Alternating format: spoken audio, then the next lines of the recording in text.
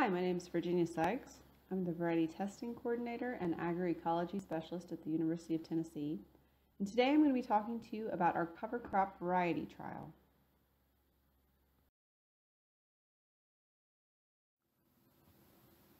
Now this is actually part two of our cover crop variety trial presentations. The first was given at the virtual Milan no-till field day, and that's still available at this link here. And there we covered results for biomass, cover, and height. Today we're going to focus primarily on our latest results that pertain to nitrogen. This information can also be found as a downloadable PDF or Excel files at search.utcrops.com backslash covercrops. So we're going to start off with a brief overview of cover crops. Cover crops are simply any plant that's grown off-season from our cash crops. So in Tennessee, most of our agricultural production systems are going to be warm season annuals. So most of our cover crops are cool season annuals. Things like wheat, cereal rye, crimson clover, hairy vetch, winter pea, all of these are very common in Tennessee. Now cover crops provide many benefits to an agricultural production system. Some of these benefits are long term, things that are going to improve the soil and help build resilience in that system to extreme weather events, things like drought or flooding. They can also help with providing beneficial insect habitat, something that's very important for the long term success of agriculture. Now, cover crops also have some short term benefits that can provide economic advantage and are also very important in an organic system where some of our options are limited for things like weed suppression or providing nutrients to the system. So today we're going to focus primarily on that nutrient content and specifically on nitrogen. Now, cover crops can provide nitrogen to a cash crop system and as you can see from this graph, they can provide quite a bit of nitrogen. So this is from the University of Georgia, and it shows how much nitrogen each of these species provided, as well as the range.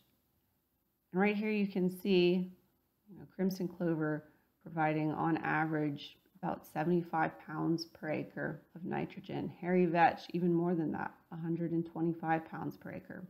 That's quite a lot of nitrogen, but what's really important to focus on are those bars. So that shows the range of nitrogen that these cover crops provided. So while on average that crimson clover might have been providing 75 pounds per acre, that range went from zero to over 250 pounds per acre. So why do we see such a wide range even within a species?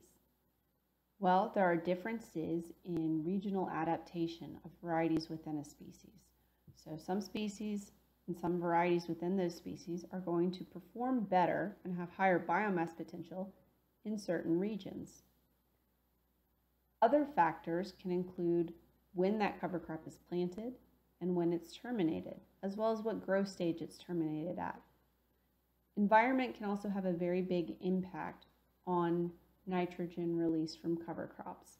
So things like whether we're leaving that biomass on the surface or tilling it in, what type of soil we have, as well as weather, precipitation, and temperature, both having a big impact on the rate of decomposition of these cover crop species, which directly impacts when you're going to get that nitrogen.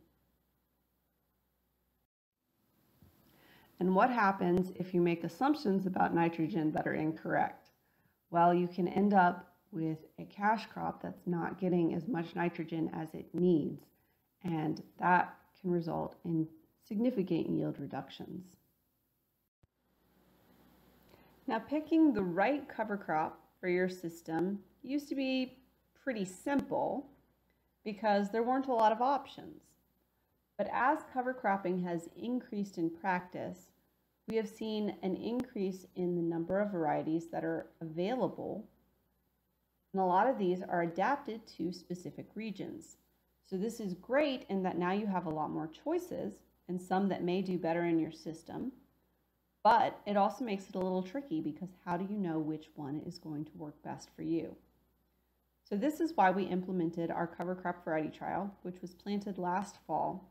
We had 60 entries, and these fell into the three major functional groups of cover crops, cereals, legumes, and brassicas. And then within those larger groups, we had various species. So within the cereal, annual ryegrass, barley, cereal rye, oats, and wheat. Within our legumes, we had balansa, berseem, crimson, and red clover, as well as common, hairy, and woolly pod vetch and winter pea. And then within the brassicas, we had collards, a hybrid brassica, radish, and turnip. And so within each of these species, we further broke that down into varieties. So you can see some species were better represented, and these were the ones that are more commonly used in Tennessee, things like cereal rye. We also had quite a few entries in the barley. Crimson clover, hairy vetch, winter pea. These are all very common cover crop species in Tennessee, so it wasn't surprising to see more varieties among those species. This trial was planted at three Tennessee locations, Knoxville in East Tennessee, Spring Hill in Middle Tennessee, and Milan over in West Tennessee. It was set up as a randomized complete block design with three replications at these three locations. The cover crops were planted in the fall of 2019 in early to mid-October, and these were drilled at the appropriate depth for each species. Our plots were between 5 foot and 7 foot, 5 foot at our East Tennessee and Middle Tennessee location, and 7 foot wide at our Milan location and 30 foot long. We measured percent cover, height, biomass, nitrogen content in that biomass, and estimated nitrogen release from that biomass. And as I said before, today we're going to be talking primarily about nitrogen release. If you'd like more information about those previous traits, those are available at that Milan no-till presentation.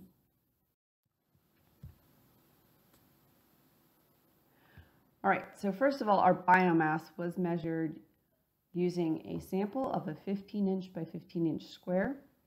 All of the biomass was cut to one inch from the soil surface, and that biomass was dried at 65 degrees Fahrenheit to a constant weight. This was measured in the 1st of April and the 1st of May.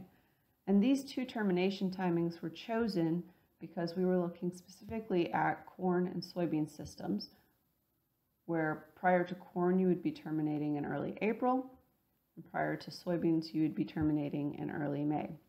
Now these results obviously can also relate to other systems where your termination timing would be similar. These samples were then ground and run through near-infrared spectroscopy with the appropriate calibrations for each species. The resulting quality constituents were inputted into the UGA cover crop nitrogen calculator, so if you haven't seen this, be sure to check it out. You can see it at the link here. But this is a really nice tool for providing a better estimate of how much nitrogen you're actually getting from your cover crop. So it takes in consideration the biomass, the percent nitrogen content in that biomass, as well as the proportions of things like cellulose, carbohydrates, and lignin, which can impact how that material breaks down and how quickly it breaks down. It also takes into consideration whether that material was left on the surface or tilled, which can make a big difference in how quickly that nitrogen's released. It also takes into consideration your environment, so temperature and precipitation averages. Now, unfortunately, they only have Georgia locations right now for their calculator, but fortunate for us, um, the Lafayette, Georgia location had similar enough temperature and precipitation that we felt pretty comfortable using that to estimate our Tennessee cover crop nitrogen. So this results at two weeks, four weeks, and 12 weeks nitrogen release. And for the purposes of this presentation, we're just going to cover that 12 week total release. So as I mentioned at the beginning, we had each of those three functional groups. We had species within the functional groups, and then we had varieties within those species. So we're going to start off by looking at differences in nitrogen release among those functional groups, then move into our species differences, and finally ending with our variety differences. So the reason cover crops are broken into these three major groups is because these groups behave very differently in terms of what they can provide in an agricultural system. So over here on the left, you can see a couple of examples of legumes. In the center, we have cereals, and on the right, we have brassicas. And these groups behave very differently when it comes to nitrogen. So the first difference we're going to talk about is where the nitrogen is coming from. So with legumes, these are nitrogen fixers. So they can actually pull nitrogen from the atmosphere to use. And then when they decompose, they're adding additional nitrogen to the system that wasn't already there. Cereals and brassicas, on the other hand, are nitrogen scavengers. So they're not creating new nitrogen, but they're keeping the nitrogen in the system that was already there. So when your cash crop is gone, if there's any excess nitrogen, these cover crops can scavenge that nitrogen, hold it through the winter night months so it's not going anywhere, and then as they decompose, release it back into your cash crop system. The second difference that we're going to talk about is in the composition of these species.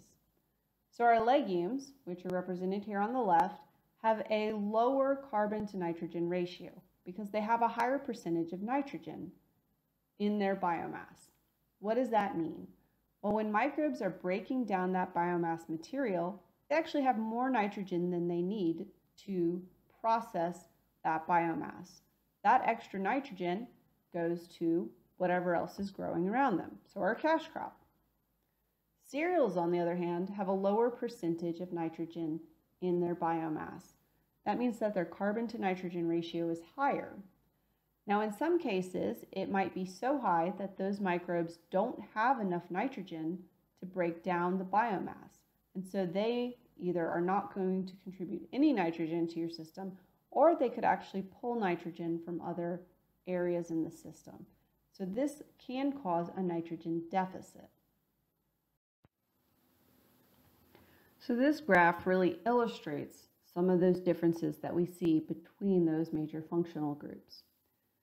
So here on our y-axis, we have nitrogen release over a 12-week period. Over here on our x-axis, we have biomass in tons per acre. In green are our legumes, in red are our brassicas, and in blue are our cereals. And each of these dots represents a mean for a specific location and species within our trial. So here for our legumes, you can see we have a very obvious trend up. So as we have more biomass, we get more nitrogen.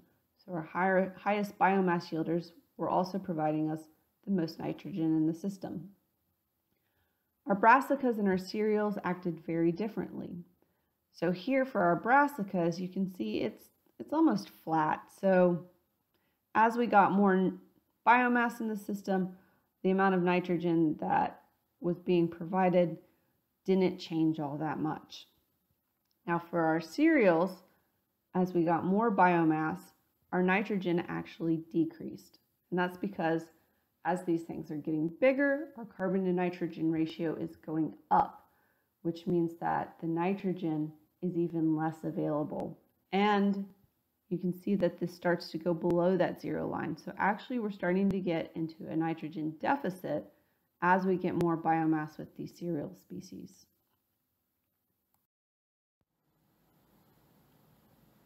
So based on that previous graph, it's pretty obvious that our legumes are going to be our money makers when it comes to providing nitrogen to our system, which a lot of you probably already knew.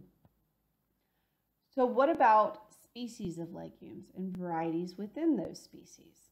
There, so there's a lot to choose from. Here you can see some examples of legumes that were in our trial. We have crimson clover, red clover, balansa clover, berseem clover, hairy vetch, winter pea. So a lot of different options. So first we're going to look at how much variation there is among those species. So I wish that there was a simple answer here and we could simply say that this is the best species for Tennessee. But what we saw was a lot of variation. So these graphs represent each of those different varieties within a species. So each dot is a different variety. They're color coded by species, and you can see this is broken down by termination month, either April or May, and location, East, Middle, and West Tennessee. So in general, our hairy vetch and our winter pea tended to be our top performers, but that varied by location. So this was primarily driven by differences in biomass. So for example, at our West Tennessee location in April, the clovers just did not perform very well. Whereas at Middle Tennessee and East Tennessee, they did fine. So what this graph really illustrates is how important it is to pick something that is specific to your system. So consider your termination timing, consider your location, and then find the variety and the species that works best in that specific system. Another thing to note is the overlap. So for example, if we take a look at this top bar where we have termination month April in West Tennessee, you can see those pink dots are our winter pea and the yellow dots are our hairy vetch. So there's overlap there. That means that some of these varieties of hairy vetch were better than some of the varieties of winter pea, but also some of those varieties of hairy vetch were not as good as some of the varieties of winter pea.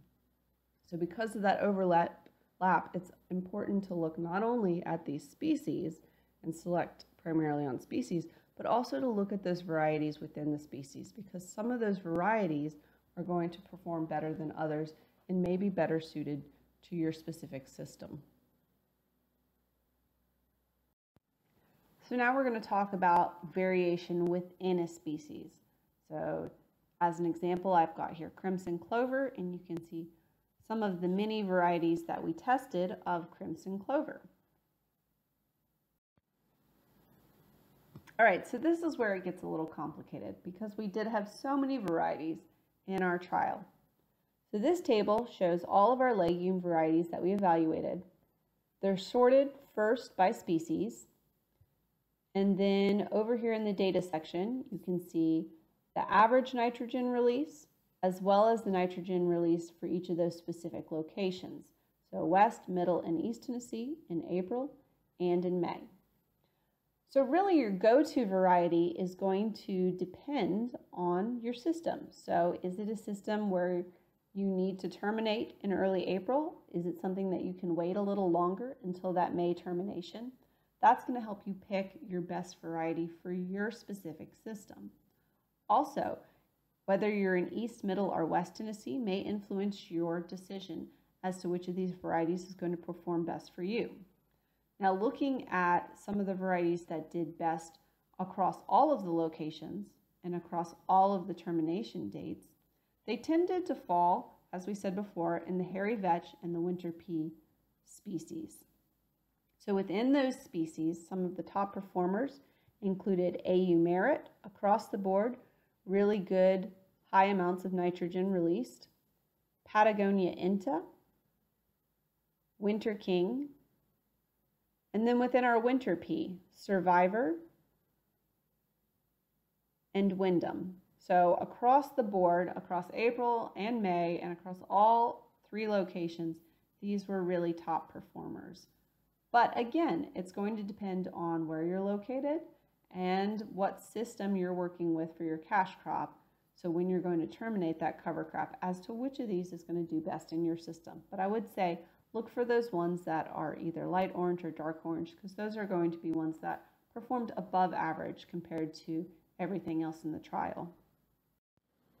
So I want to talk very briefly about differences among and within species for cereals. Now I know cereals are not our go-to for nitrogen, but a lot of people are putting cereals in their mixes.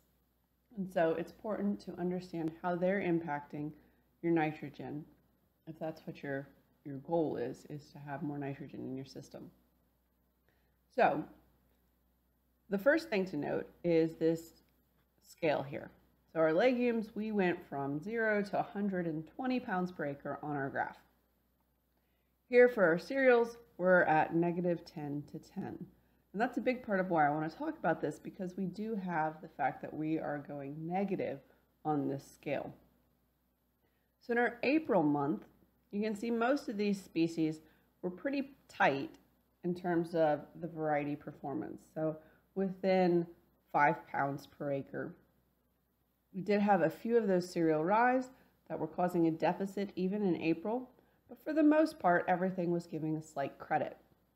Once you move into May, though, you can see that variation starts to stretch a bit. So we do get more variety differences within species. And really, we're starting to see more of a deficit among many of these species, in particular that cereal rye.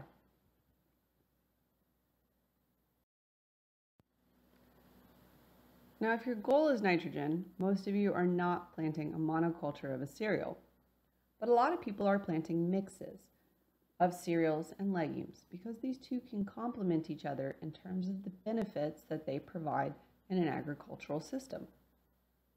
An important thing to remember, though, if your goal is nitrogen, is that what you plant is not necessarily what you terminate, and what you terminate is what helps you determine how much nitrogen you're going to get. So this is some interesting research out of Georgia. So these graphs over here show the proportion of their cover crop mix according to species at the beginning of the season, and then how that progressed towards the end of the season. So each of those species is a different color, and an important one to look at is that green, and that's our cereal rye. So even when their cereal rye was only 20% of the mix at the beginning of the season, it tended to dominate by the end of the season. So if you're planting something with the expectation that 80% of your mix is going to be a legume, and at the end of the season, only 20% of your mix is a legume, and the rest is a cereal that we're not getting a lot of nitrogen from, that can really throw how much nitrogen you potentially could have from that cover crop. So if your goal is nitrogen, an important thing to remember is to lower those rates of cereals in the mix if you want those legumes to be able to really perform and deliver a high amount of nitrogen at the end of the season. Okay, so in summary, we saw some big differences in nitrogen potential between those groups, legumes and cereals. So those legumes up to 117 pounds per acre of nitrogen. And the more biomass you had, the more nitrogen you had. With our cereals, we only got up to at most 13 pounds per acre of nitrogen, but we also had deficits potentially. And with the cereals, the more biomass you had, the less nitrogen you had. So really, if you are wanting to maximize the amount of nitrogen you're getting from these cover crops, then first and foremost, you need to make sure those legumes are the majority of your mix or plant a monoculture of the legume. Now we did see big differences both among species and within species, and those differences differed by when we terminated and they differed by location. So when it comes to selecting the best variety, it's important to consider the specifics of your system. So when do you plan to terminate? What location are you at? Because those things are going to help determine which variety is going to work best for you. So there were several varieties within the trial that did well across locations and across termination dates. These included AU Merit, Patagonia Inta, Winter King within the Hairy Vetch, and Survivor and Wyndham within the Winter Pea. So no matter where you planted or when you terminated, these were top performers. Now, does that mean that those are your only options? Absolutely not. So there were many varieties that were really top performers and provided a whole lot of nitrogen, but it was at a specific location or a specific termination timing. So over here on the right, you can see Kentucky Pride. It did very well at our Middle Tennessee location it did not do very well at our East Tennessee location. So when you're going through these variety test results and looking for those top performers, be sure to think about the specifics of your system. Where are you located? when do you plan to terminate? Because those things can impact which variety is going to perform best for you. So what comes next? Well, we're doing it again. So our cover crop variety trial for 2021 is in the process of being packaged and will be planted within the next week. Now this year we are doing things a little bit differently in that we are having both an early planted trial and a late planted trial. And the reason for this is because we have different types of cash crop systems and depending on what you're planting your cover crop after, you may not be able to get that cover crop in as soon as you'd like. So some people, particularly people who are going in after something like soybeans or cotton, uh, they may have to plant those cover crops a little later. So we want to make sure that we provide information about which varieties are going to work best under those conditions as well, because it can vary a lot. We're also including some mixes this year. So we saw in that last slide how particularly cereal rye can dominate some of those mixes. So we are taking some of our top performers from last year, our AU Merit Hairy Vetch, which was a really across the board great performer, and then our Bates RS4 cereal rye. And we're going to do some mixes with those, as well as mixing our top performing legumes with a less aggressive cereal rye, a less aggressive species, which is uh, a wheat, and then also looking at a reduced rate of cereal rye. All right, so again, just as a reminder, if you'd like to take a look at that publication or download any of the Excel files, those can be found at search.utcrops.com. Just go to the cover crop icon. And then we'd like to acknowledge all of our participants. So the folks that provided us seed to include in this trial, which were Grassland Oregon, Green Cover Seeds, Mountain View Seeds, Noble Foundation, OreGro, Pennington Seed, Smith Seed, and Virginia Tech. And the varieties associated with each of those seed sources can be found in that publication, as well as all of the people who helped collect data and plant and harvest these trials. And then, of course, the Tennessee Soybean Promotion Board that helped provide some of the funding to execute these trials this past year. So one of the great things about a field day is that you get to stretch your legs and actually go and look at some plots. Now, unfortunately, we can't do that today in person, but we can take you on a virtual tour of these plots. And one of the benefits of this field day being virtual is that you can take a look at these plots back in May when they were really at their peak. Now we did this for the Milan no-till presentation as well, but there have been a few changes in the field tour, so I'll explain that a bit more on the next page. So we're going to go through each of our plots. These are sorted in the same order as our publication. So by species and then by variety within species. So the big picture is what that plot looked like in May. And you can see information about the group that it's in, the company that submitted that seed, the species, and the variety on that sign there. This picture in the lower right-hand corner is what that plot looked like back in November. Because some of these species, when we get to things like the brassicas, they're really not going to look that great in May because our goal for a brassica cover crop is not necessarily biomass in the spring. A lot of the times, the benefits from those brassica species are more visual in the fall because they're providing a good amount of cover. Now up here in the top right corner, you can see the data for that variety for biomass, cover, and height, and then compare that to the trial average. I've also added in the nitrogen information, so you can see the nitrogen content in that variety in April and May, and then also how much nitrogen it would release over a 12-week period. And here we're not going to compare it to the trial average because really that would be comparing apples to oranges, looking at legumes versus cereals and brassicas. So we're just going to look within group. So comparing that nitrogen content and nitrogen release for that specific variety and comparing that to the average across the group. So for example, this fixation clover is within the legume group. So we're going to compare the nitrogen release from that variety to the overall nitrogen release within our legume group. So with that, I'm going to leave you to take a look at each of these plots.